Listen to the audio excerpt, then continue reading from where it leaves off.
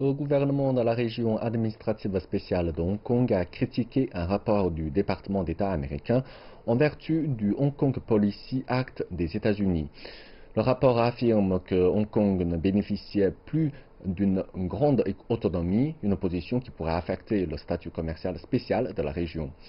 Un porte-parole du gouvernement de Hong Kong, cependant, a déclaré que le rapport dénaturait les relations constitutionnelles entre Hong Kong et les autorités centrales et qu'il a interféré dans les affaires intérieures de la région.